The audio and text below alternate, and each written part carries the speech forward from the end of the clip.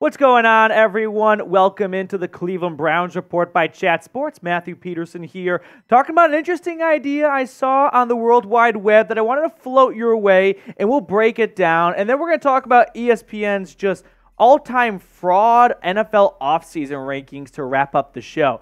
But Jack Duffin, a great Twitter follow if you haven't already, floated out an interesting idea that I wanted to address on today's show. And that was a hypothetical for the Browns. And that included signing Hopkins to a two year, $25 million contract and trading Donovan Peoples Jones for a fourth. So I can see the logic in if you're adding DeAndre Hopkins and you got a crowded wide receiver room, maybe move on from DPJ, who's going to be a free agent at the end of this year. Now, Duffin would respond to that tweet with this here.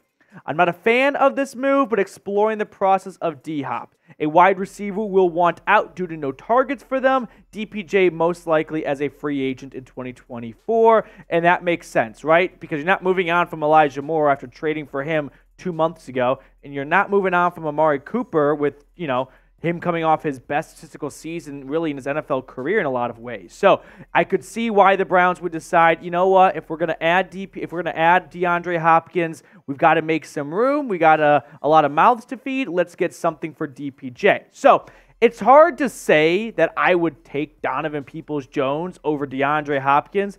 That's kind of a fireable offense for an NFL GM, but I can also understand the argument of what's best for this team long term versus what's best for this team short term. Because long term, you might have something in DPJ. Look at the improvement every single year of his career. His rookie season, 304 yards. He has climbed up to being a near 1,000 yard receiver that's a thousand yard receiver, or at least 839 yards, with Jacoby Brissett slinging the rock for most of last season and a quarterback change midseason. So DPJ has shown a lot of potential to be a legit wide receiver too in this league, whereas DeAndre Hopkins, no doubt, is a better wide receiver in 2023 than DPJ. But I don't know how much longer I can say that for, right? DeAndre Hopkins is pushing 31 years old. He's going to be approaching the twilight of his career. And if you think DPJ is only about to hit his prime, right now it might sound crazy to say, give me DPJ over Hopkins, but will that be crazy in two or three years? Like, if you're a big believer in DPJ long term, I could see why you'd rather pass on signing DeAndre Hopkins if that means potentially moving on from the former Michigan Wolverine. So, the key question I have is this Are the Browns re signing DPJ?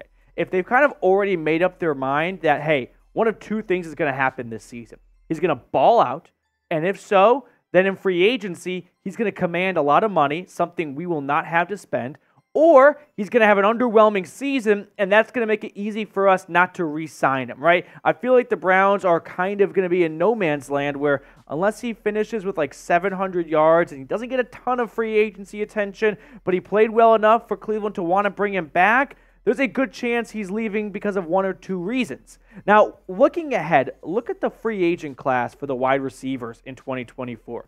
This past season kind of stunk out loud. Next off season couldn't be more different. You got OBJ and Mike Evans on the market.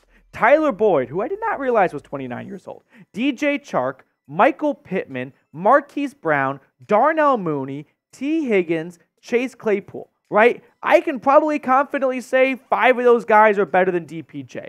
Uh, Michael Pittman, Marquise Brown, Darnell Mooney, Tee Higgins, Mike Evans. I could probably make a good argument I'd take those guys over DPJ. Not DPJ slander here. Um, I like DPJ maybe a little bit more than Mooney, although Darnell Mooney was awesome two seasons ago. But that's aside from the point. What I'm trying to get across right now is there may be some extensions that get done for these wide receivers. But if the market does look like that, and those are all the free agent wide receivers, DPJ could be a pretty cheap free agent. Like, look at the top five highest paid wide receivers from this past free agency pool. Allen Lazard got the most money. Allen Lazard wouldn't be top five on that last list if it was his birthday. Four year, $40 million, $44 million contract. So if that's the pool, right? If if Mike Evans and Tee Higgins and Darnell Mooney are all free agents next season, they're going to be commanding much more money than what Jakobi Meyers and Juju Smith Schuster got. And if that's the case, all of a sudden, DPJ might be pushed down the pecking order a little bit. And it might not be super expensive to get him if he's the sixth or seventh highest paid wide receiver in free agency for 2024. If I had to make a way too early projection, and it is very early because it really is dependent on how 2023 goes, maybe he's in the three year, $27 million range. I feel like that's on the low side, but if DPJ puts up a 700 ish yard performance, right? If Elijah Moore kind of emerges as this team's wide receiver, too, maybe DPJ regresses just a little bit. And if it's three year, $9 million, Maybe Cleveland could swing that, although I don't really see that unless they decide to move on from Amari Cooper and prioritize DPJ in free agency. So if Cleveland has sort of decided we kind of know this is the last year of DPJ in the land, maybe a trade isn't a bad idea, right? Now, if I had to think of a team that would be interested in Donovan Peoples Jones, maybe he goes back to Michigan, right? Plays for Detroit, and you get a fifth round pick out of it. I think Jack Duffin suggested a fourth. I don't think you're getting a fourth for DPJ for a contract season, right? Uh, I think a fifth is probably more in the wheelhouse, but we're really arguing over little details here. So a fifth rounder for DPJ is a bit intriguing because on one hand, you're not uber short draft capital next year, believe it or not. You're still without a first. That belongs to Houston, but you do have your second back. Now, you don't have two thirds because of Kwesi Adofo-Mensah uh, getting a comp pick for you after he got hired by Minnesota. So you could stand to add some extra picks. Plus, Cleveland is very far in the red for cap space in 2024. So they'll be much more reliant on the draft to build their roster. And an extra day three pick could do wonders for this team. So let me know would you trade Donovan Peoples Jones to free up a roster spot and have it really all make sense to sign DeAndre Hopkins? I'm not saying in order to get D Hop you have to trade DPJ away, but I think Daff, uh, excuse me, I think Jack, Jack Duffin is on the right path of if you're signing Hopkins, there's a chance that someone's leaving the wide receiver room. Now, before we get to ESPN's abysmal rankings for the NFL offseason, if you have not subscribed yet, please go ahead and do so. We're trying to get you guys Browns YouTube content all offseason long. And here at Chat Sports, it's all about the channel size, and size does matter at Chat Sports when it comes to studio space. And right now, I'm sharing a wall with the boss man, James Yoder, and hopefully he's going to hear that the Browns Report needs more studio space, and that means we need more subscribers. So help us grow this channel by clicking that subscribe button.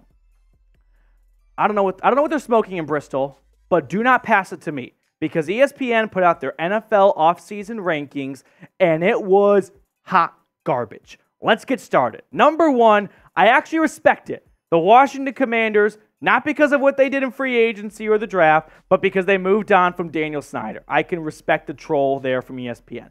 Dolphins at two. I don't know. They had like four picks in the draft, but okay, whatever. Cowboys, Eagles, and Packers round out the top five.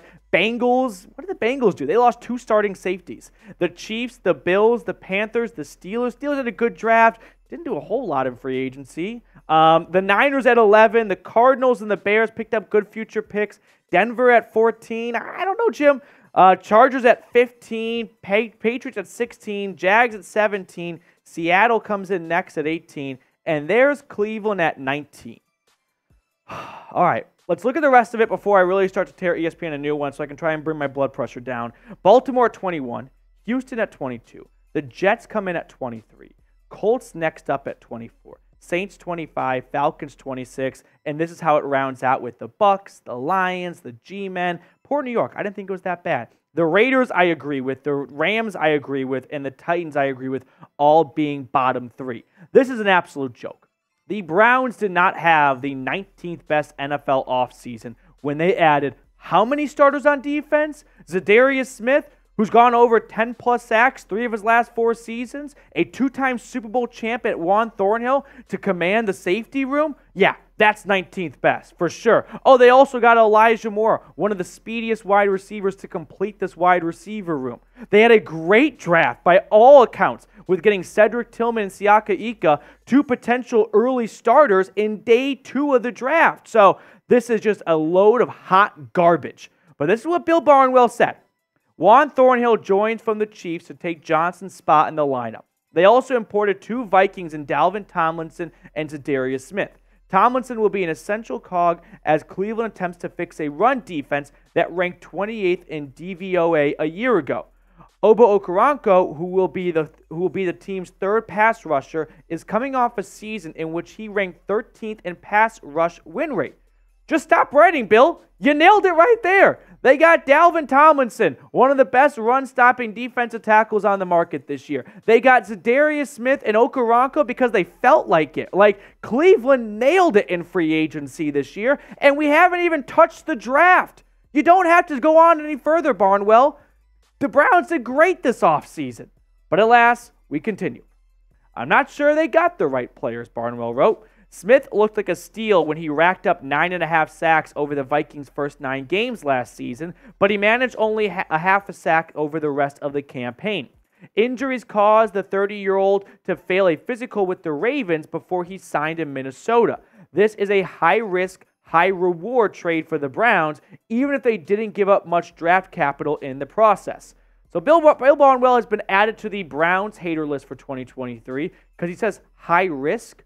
What's the risk? You're going to miss the fifth round pick for next season? Like, no, it's not a high risk. It's a high risk if it's a day one or day two pick. Throwing a couple day three picks at a guy who had 10 sacks last year on a down season when his knee was out for half the year doesn't seem uberly risky to me. If anything, seems like a high reward if he can play a full healthy season and the nine and a half sacks he had over the first half of the season can be extrapolated through a whole healthy 2023 campaign. Boom, you've got two double digit sack players in Smith and Garrett. So I'm not subscribing to this idea of being high risk. Now, having said all that, I can respect the fact and understand this is what we do as sports fans.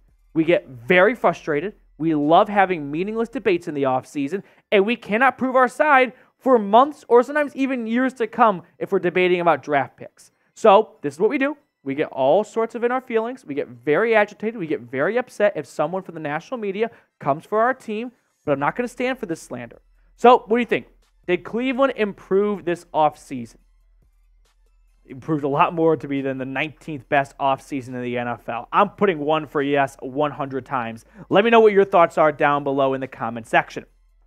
Before we let you guys go, it is time for our pick a card time to end the show. If you're just joining us the last couple of days, the way this works is I shuffle this deck of cards. Me and whichever producer I have the luxury of working with today pick a random card, and we simply see if we have a 1 in 52 chance of getting it correct. Sam Brown behind the computer. What are you going to go with? Uh, we're gonna go nine of spades. Nine of spades. Nine okay. of spades. Nine of spades. Put me down for the ten of diamonds. Big money. Big money. Nine big of money, spades. Big money, big money. Ten of hearts. Get out Ten of here. hearts. Let's One go. off. I, I was a ten of diamonds. Oh. That- I, I heard a red. I heard a red card. Ten That's of on diamonds. I said ten of hearts. I got way too high for that one. Shambles. I'll see you guys later.